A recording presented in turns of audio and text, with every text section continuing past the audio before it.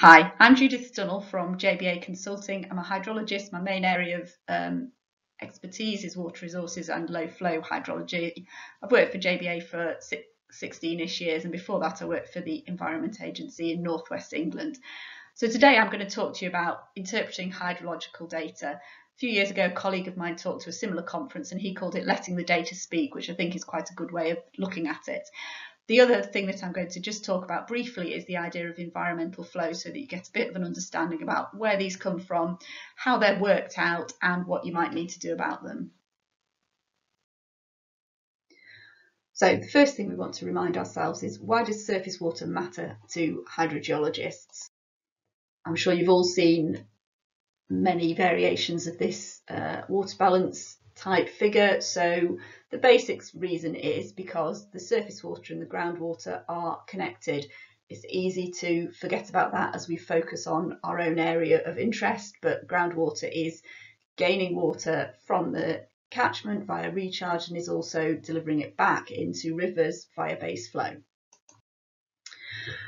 So this next slide, just again, it's a reminder surface water groundwater interactions. So it may be because of some human influence. So for example, dewatering and groundwater pumping can affect river water levels and river flows.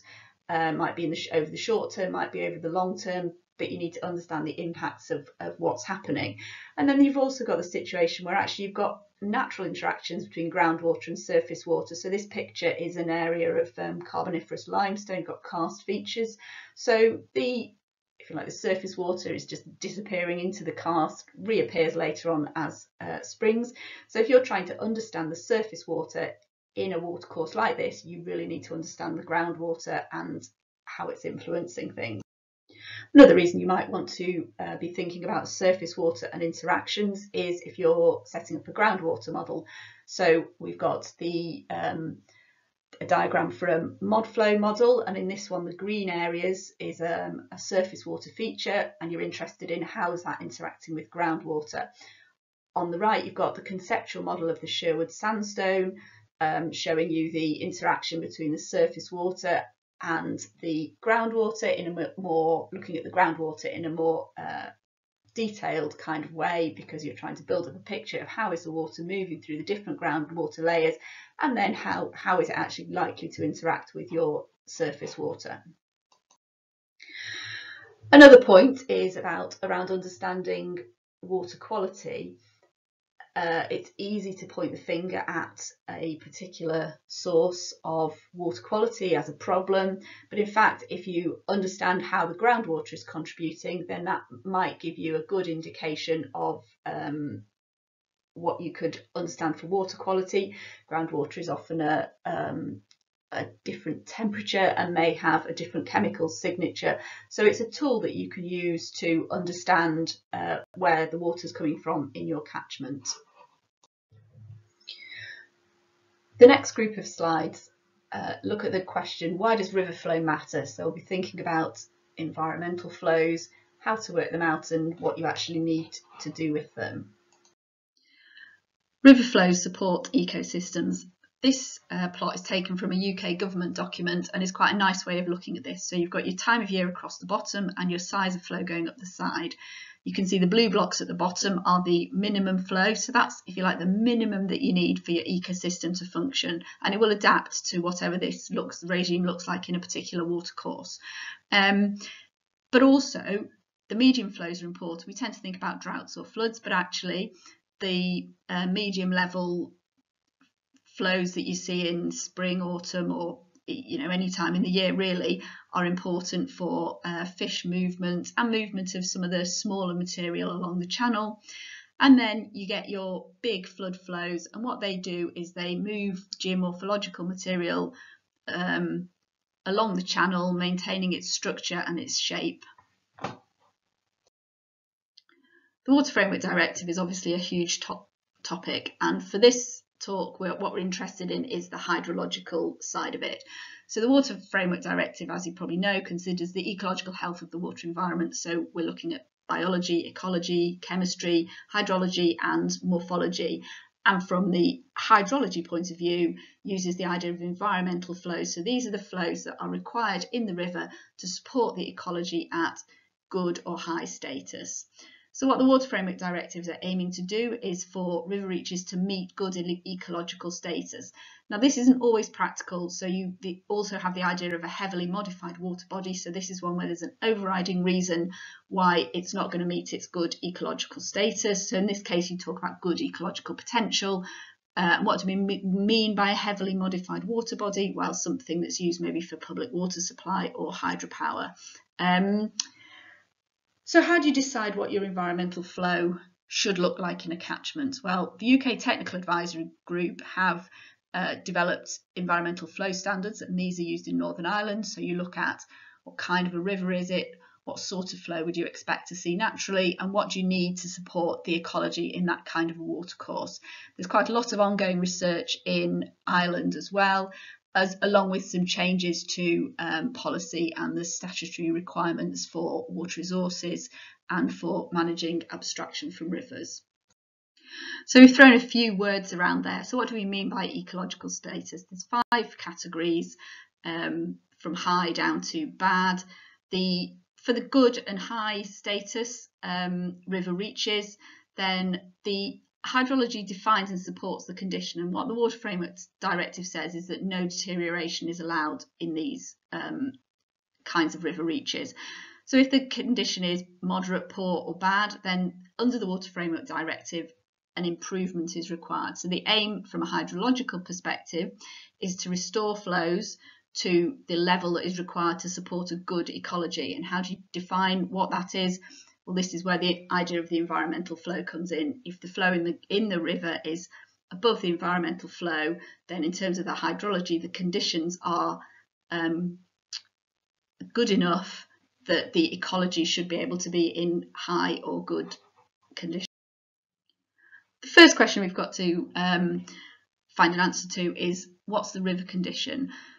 So these pictures again taken from a UK document, just as an to give you an idea of the sort of thing you might be talking about, um, is the idea of the difference between high and bad status. Um, so for high status, you've got to have a pretty natural catchment for the hydrology, and that includes the connection to groundwater. So if you had, for example, a borehole abstraction that was in fact having an impact on flows, even though it's not very visible, that would probably um, not be a high status, it would be a good status. So then as you go down through the categories, um, we've got here an example of a poor quality catchment. And in fact, this is prop, this is in terms of erosion, sedimentation, and potentially the sort of water quality problems that you might get. get. So you can have um, catchment that's in poor status and actually it's not really related to the, um, the hydrology. And then this the bottom picture is bad ecological status. So what you've got here is a very unnatural channel, uh, none of the uh, natural geomorphological features. Flow might be quite natural, but in terms of what can happen to um, for the ecology, then the situation isn't looking very good. Environmental, or sometimes called e-flows, are defined in you know, a number of different ways, but this uh, 2012 definition covers all the key points. Uh, and the diagram on the right is taken from a 2017 um, piece of research done in Ireland, looking at how to how to set um, environmental flows. You know what's what's practical, um, and I think this is a nice illustration of the complexities. So you've got lots of different pressures, things like climate change, um, then you've got your basic water framework directive requirement, you've got sort of socio-economic drivers, then different stakeholders, different perspectives, um, data quality and availability, that's very important.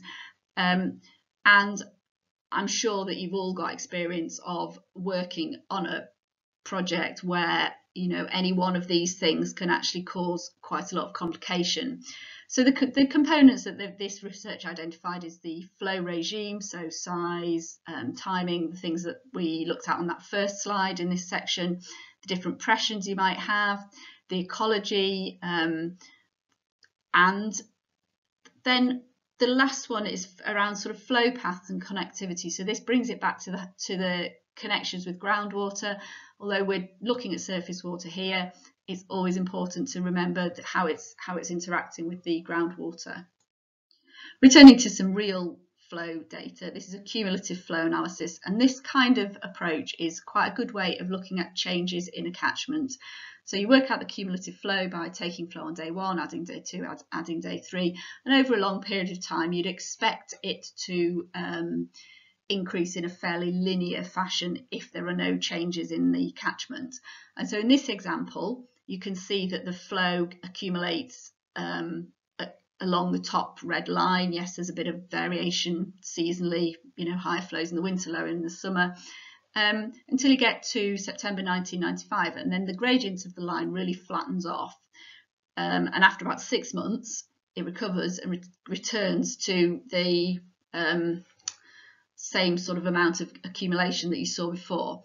And so what what happened here is that the upper part of this catchment is underlain by a Sherwood sandstone aquifer. So once the aquifer levels really started to drop, then the um, you're getting much less runoff because any rainfall was um, being used for aquifer recharge and the um, aquifer was no longer generating the um, amount of base flow to the river that you would see in normal um, conditions. Another idea that gets thrown around um, by hydrologists when they're talking about this kind of uh, environmental flow assessment is the idea of natural versus observed flow. So in many catchments, what you actually see in the river is not the natural situation. And when you're looking at the ecology and environmental flow, you do need to consider what would this look like under natural conditions. Uh, so there's a number of different things that might be uh, contributing to this. So there's abstractions, water that's being taken out of the river. Uh, question, you know, what's what's it for how much water is taken, how much is used, when is it used, does any of it get back into the river, is any of it measured? And then you have got discharges, so that's um, water that is coming into the river, it might be coming from say sewage treatment works or an industrial premises. Sometimes it can be linked to an abstraction. So for example, if you get a factory, they're abstracting water, using some of it and then putting back the rest as wastewater. You've also got reservoirs. So in that case, you are trapping flow uh, in drier periods when the reservoir levels are low, probably making some sort of a steady release, maybe some seasonal releases. Um, and then you've also got your groundwater impacts. So this has got it as a something coming out of the river, but as we've already discussed, could be um, groundwater contributing to river flow as well. Uh, and all of this uh, adds up to give you your observed flow. And so understanding how these things are interacting is one of the things that you need to know about if you're trying to work out what should my uh, environmental flow look like in this particular catchment. This hydrograph compares the um, flow in for the same period of time for a river in the south of England and one in Ireland. The red line is the one in the south of England. This is a chalk catchment, so the flow is supported very significantly by uh, groundwater base flows. The blue line is the uh, Irish catchment. What you can see there is that it is what hydrologists describe as flashy. So that means that when it rains, it responds really quickly. You get a sudden big peak and then it recovers quite quickly down to its um, base flow levels. And when you look at something like this, you can see very clearly that for environmental flows, one size doesn't fit all, because what's an appropriate uh, target flow in the groundwater supported catchment is not going to be the same as one in the uh, flashier um, catchment. The next couple of slides are taken from the Northern Ireland legislation adopting the uh, Water Framework Directive into law and it's an example of the typical sort of way of deciding what your environmental flow should look like. So you can go out, look at the river, decide which category it's currently in. You may then know that it needs to be improved or that you need to make sure that the flow is maintaining it but you but that doesn't really tell you what should that environmental flow look like so these these lookup methods are the way that, that this is usually assessed so in this first table this is for working out what kind of a river it is. Um, so the first column is different sort of classes of river, A1 down to D2, and then depending on their rainfall, fall, the base flow index, we'll talk about this a bit later, but essentially it's the um, proportion of the flow that is uh, supported by groundwater or some other catchment storage, and then the catchment area. So if you've got um, a very big catchment, there may be enough going on that it's less sensitive um, to some of the changes that you might uh, see. And then once you've decided what kind of river it is, then that will determine how much water should there be for your environmental flow. So depending on the um, whether you're looking at high standards, good standards, then you might have a different uh, amount of flow that's required. So these two tables, one is for the high environmental standards. So in this case, whatever kind of catchment you've got, you're allowed to take 10% at higher flows and 5% at lower flows. For the good environmental standards, varies a bit more between the different catchment types. Um, so in fact, as you go down the table, you're getting up into the headwaters. And what, in fact, you can see is that you're actually allowed to take less because as you get into these smaller catchments, then they're likely to be more sensitive to change.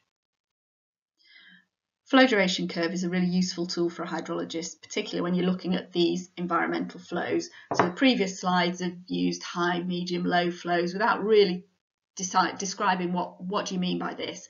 So flow duration curve looks at the whole flow data set and looks at what's the percentage of time that any flow is equal or exceeded. So if you look at this plot, then along the bottom, the 10% flow um, it's actually fairly high flow. It's only exceeded 10% of the time. And then as you get down to say uh, Q90, so that is a flow that is exceeded 90% of the time, it's a pretty low flow uh, in a catchment. And so across the flow duration curve, you can define what you mean by your different flow ranges. So in those previous tables, uh, if you look at the small print, they'll say if flow is between 0 and Q30 or Q30 and Q70 and that's how they'll define the, the range at which those um, particular amounts of uh, abstraction are uh, permitted. The shape of the flow duration curve can tell you about what kind of a catchment you've got. So in particular the slope. So if you notice this one's plotted on a log scale and, and that's because it um, flow duration curve can kind of disguise what's happening at the low flow end of the plot um, because the high flows are so much higher than the low flows. So in this case, you've got two examples. The pink line is an impermeable low storage catchment. So going back a couple of slides, that's the blue flashy um, hydrograph. So the high flows are high, but it drops quite quickly down to the low flows. And then the blue line shows um, a permeable high storage catch or high storage catchment. So this is one where there is uh, some sort of storage in the catchment that means that your high flows are attenuated. So that means they're reduced, um, spread out over time. And the low flows are also um, supported in some way. So, so the shape of the curve is much flatter than in the impermeable catchment. Hopefully now we've got an overview of environmental flows, what they are, why you might want to use them. A lot of this comes down to the idea of how sensitive is your uh, river and how significant is the action that you're thinking about taking. And how are we going to understand that? The answer is we're going to look at the data and see what that tells us. So the first thing that hydrological data might be telling you is how things vary in space. So this is the situation where you've got two uh, watercourses crossing the same aquifer, but you can actually see from this that they're not going to behave in the same way. One of them uh, intersects with the water table, so there will be the river will be gaining water from groundwater, and on the other one it's sitting above the um, water table, so uh, water is going to flow out of the river into the groundwater. I will just say the terms their influent and effluent, you need to think pretty carefully about what you're using them because whether water's flowing in or out depends on your perspective. This is uh, an illustration of some peaks over threshold looking at a particular watercourse in Australia, two different gauges, and the question is can you use one to understand what's happening at the other? And in this case, it uses peaks over threshold data, so that takes uh, some sort of a definition of a high flow, looks at uh, events that are higher than that, and then uses those in the analysis. So for each of these events, you plot them up, you've got a pretty good correlation. So I think when you look at something like that, you can look at one site and decide what is likely to be happening at the other site. Obviously, there is some scatter, so it's not a perfect answer, but compared to having no answer at all, it's you know quite good information. The other thing that your data might tell you is how things vary with season. Why is that important? Well, to think back to the environmental flows, what's happening in the summer compared to what's happening in the winter. If there's more water available in the winter, you might be allowed to do something different. So this plot it has the months of the year around the outside and the distance from the centre is uh, represents the magnitude. So this is maximum lake levels in Windermere in Cumbria. So what you can see here is pretty much every year the annual maximum lake level occurs in the winter between October and April. There's not any particular magnitude seems similar right through that period. But then there's a very notable exception in 1938 where you've got the highest annual maximum level is in the summer. Um, and this just reminds us that just because it's more likely that something will happen at a certain time of year doesn't mean it would never happen any other time. The other thing our data might tell us is how things vary over a long time scale. So this is the outflow from Windermere. Um, again, looking at the annual maximum, and we've put a 10-year moving median through this. So you can see if you look at the uh, orange line and the trend line, they're both increasing from 1935 through to uh, 2005, the end of this particular analysis. And this is uh, an example of a trend in data that you would want to know about if you're looking at what's appropriate now, maybe using the earlier bit of the record is not, rep not representative of what you're seeing now. I think on something like this, where the, there's those two very large events right at the end of the record, you'd perhaps need to just do some extra testing to make sure that those two events weren't skewing the whole the whole thing and the rest of it is flat and in fact what you're looking at is a step change at the end. The other thing you might be looking at is impacts of human influences. So this is a, um, again, it's annual maximum flow from a gauge in Ireland. And what you can see here, there's a gap of date in the data in 1985. And what you can see here is before that, the annual maximum flow is lower than the period after that. And what happened here is there was a big um, arterial drainage scheme was put in. That's designed to get water out of the uh, catchment quickly. So following that, the, the annual maximum flows are bigger. But in fact, over time, the channel has, in fact, um, adjusted itself back to, uh, if you like, more natural uh, drainage situation. But this is an example where you need to be really careful because all the the different sections of that record are not necessarily representative of what you what you want to test uh, in terms of the current situation.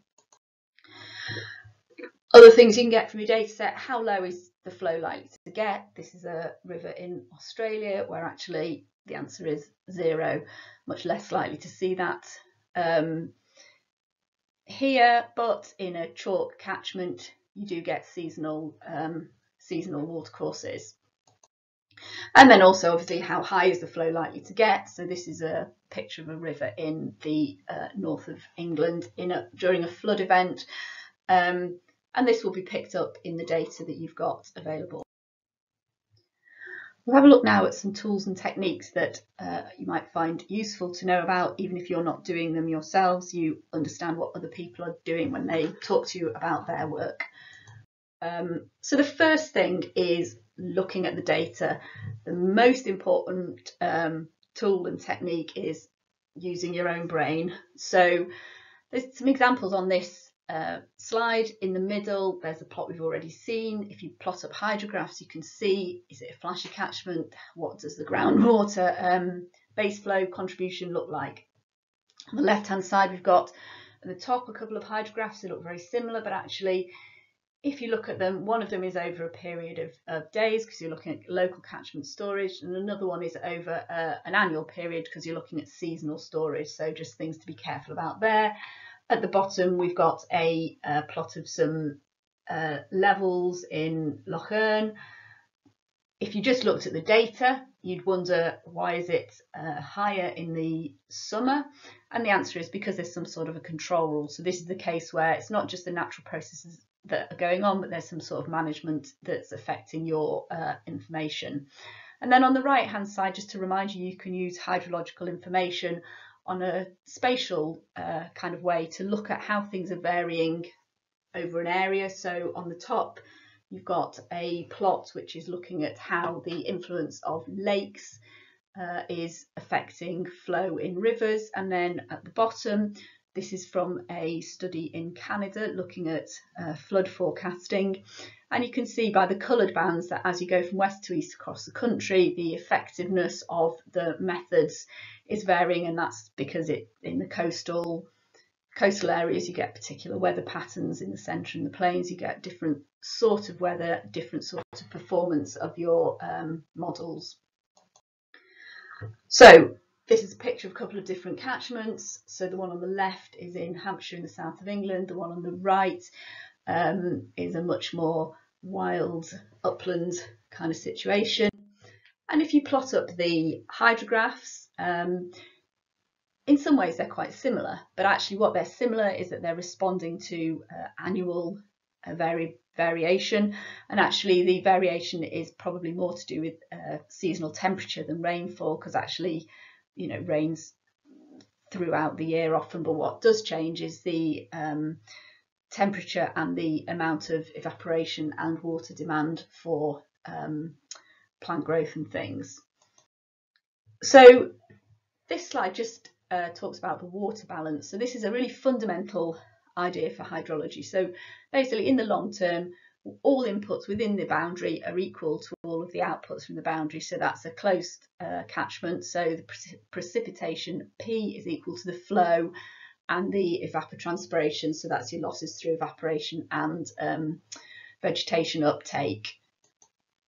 In the short term, there might be some storage in the catchment. So the you've got a bit of bit of missing water. So precipitation is flow, Q, and the evapotranspiration.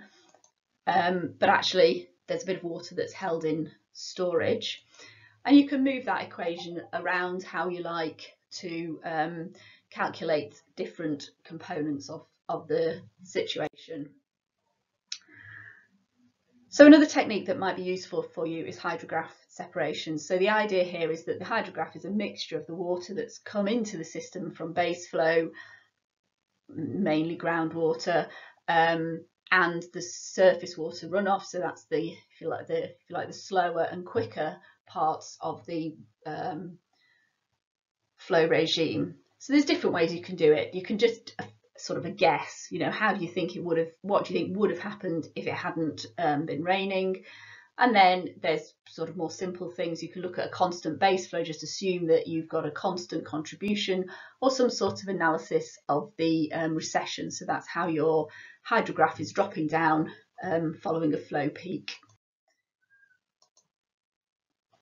So this slide is a um, method from the Institute of Hydrology in the UK and it's just an example of one method. There's quite a lot of literature out there if, if you're interested in uh, looking at this in a bit more detail. So what you do is you split it into five day periods and in each period you look at the minimum flow and then you compare this to the minimum flow in the period before and the period after to decide whether it's a turning point. So this is uh, um, the blue dots are ones that have been identified as turning points and so you join those up and that gets you um, it separates out the base flow from your hydrograph. Um, and related to that is the idea of the base flow index. So this is the um, proportion of the hydrograph that comes from base flow. So in a very um, groundwater dominated catchment, that will be a high value, between zero and one in theory, and in a flashy catchment it'll be a very low value, and this shows how it varies um, varies over Ireland calculated from soils data. Uh, this is examples of flow accretion plots. So these plots, you look at the flow and how it changes as you go downstream. So zero is the upper end of your catchment that you're interested in. So as you go downstream, you'd expect it to increase. It might step up if you've got a tributary inflow. And if you've got a catchment where you've got a, a large base flow regime, then you can see it might actually decrease as you go downstream if you switch from the situation where uh, base flow is supporting the river into the situation where the river is losing water to, uh, to base flow. Uh, another idea that you might uh, might be helpful is frequency analysis. So you might be interested in, you know, how often how, how often is the uh, river flow in a particular range, and this plot illustrates uh, quite an important part of frequency analysis, which is particularly your highest flows are actually really unusual. So the whole thing is skewed you know, on this example, most of them, most of the flows are between one and 10, um, but your high flows are very much bigger than that. And you, if you calculate the mean, you might actually find it's a bit skewed by the fact that you've got these small number of very high values.